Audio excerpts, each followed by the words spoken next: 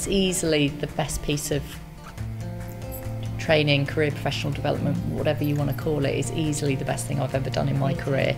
Um, and I think that thing about what we've learned, I think about leadership. You know, I probably started this program thinking, well, I might be a leader one day. I don't think I'm a leader at the moment. I might maybe one day, maybe one day. And then you sort of, the more time we look at it and we spend together, you think there are different ways of being a leader, and you do lead, and you lead every day, and it's it's drawing that out of yourself, isn't it?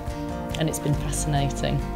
The way that the programme is structured has been about reflecting um, collectively and individually, mm. and so because that's built in, um, that's enabled us to think more critically about what we're doing. It's realising what you can do, it's realising what's in you already that you've spent, you know, years working on that's happening every day. It's, it's just it's pulling out what's already there, making you realise it, making you see it, believe in it. But also, you seem to go away feeling um, really proud of things that you you do do that you yeah. don't necessarily realise that you're doing already. And I think it's the same about being in a group with each other. Mm. It's actually really reassuring, actually, that what we are doing mm-hmm. is, is, is, is right and on the right path. Um, but then you go away wanting to do more, which is really exciting.